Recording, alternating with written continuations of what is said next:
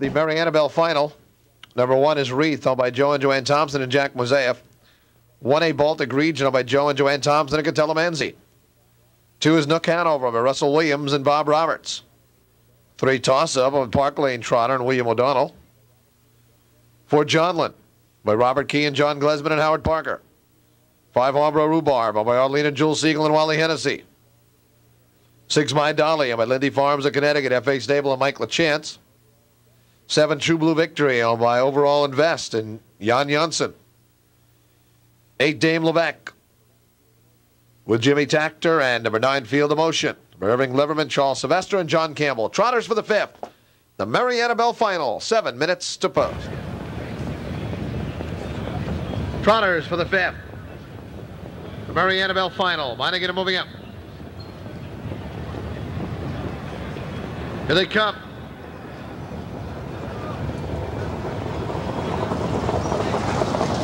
And they're off. Baltic Region off stride. It's Wreath for the lead. On the outside, there goes True Blue Victory. And quickly, True Blue Victory. And Jan Janssen to the front by two. Wreath second off stride goes Dame Levesque. Dame Levesque on a break. Nook Hanover in third. Then a length and a half toss up fourth. The outside Feel the Motion. Followed by Johnlin. Then it's three more to Armbro Rhubarb. And four, My Dolly. Quarter 28 and four. Down the backstretch they trot and True Blue Victory leads in a length, length and a half. Wreath second by two with Nook Hanover third. Campbell in gear with Feel the Motion. Followed by Johnlin. Toss up sixth. Armbro Rhubarb, the outside seventh and three to My Dolly. Approach the half and Feel the Motion. Campbell puts her on the lead by two over True Blue Victory. Another two and a half to Johnlin. Half 58 and three. Onto the far turn. Feel the Motion by a length, length and a half. True Blue Victory. Jan Janssen trying to come back out after the leader. Then it's a length and a half to Johnlin third with Wreath fourth. That's Nook Hanover in fifth. Test one, two. They approach three quarters and Feel the Motion continues with the lead. True Victory stalks the leader second, the outside Johnlin. Wreath fourth, three quarters.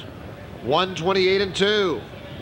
Three sixteenths to go, and they're on their way home. And feel the motion. She leads it by two, two and a half with an eighth to go. True Victory trying to get to her. Then it's another four back to Nook Hanover. But in deep stretch, it's John Campbell with Feel the Motion, winning the Merrie Annabelle trot by two. True Blue Victory second in 157 and four.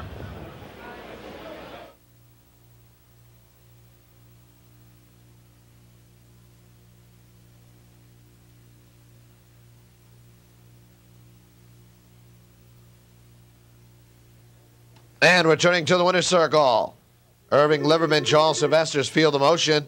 A two-year Bay filly by Super Bowl, trained by Charles Sylvester. Driven to victory. His third Merrie Annabelle win, John Campbell.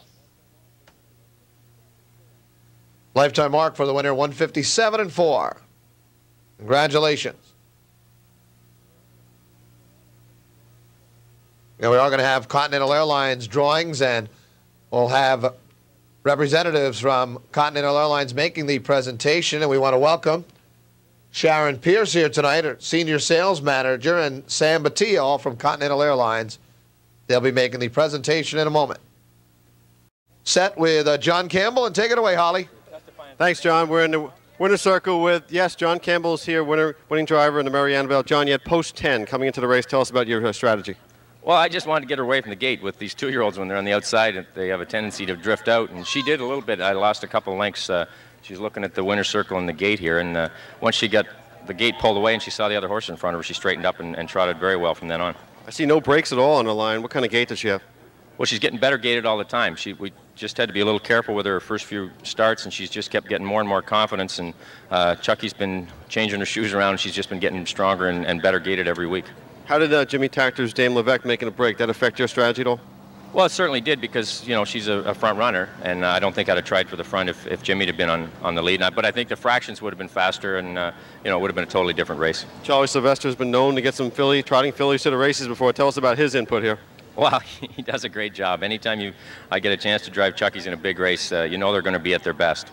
And last week there was a she had some new shoes on last week. Is that true? Chucky's changed her shoes uh, the last three weeks, and she's just uh, trotted better every week. He's uh, he's great at, uh, at, at getting them balanced, and uh, she was definitely the best she's trotted uh, gate-wise tonight. And what were you thinking three-quarter pole, the favorite, right on your back? My filly felt strong at three-quarter pole. I thought uh, thought she was going to win three-quarter pole. I I'd, uh, hadn't asked her to trot at that point, and I, I was sure she'd still finish strong. John Campbell, the winning driver here with Feel the Motion from Post 10, the Merrie Annabelle winner. Congratulations, Charles Sylvester.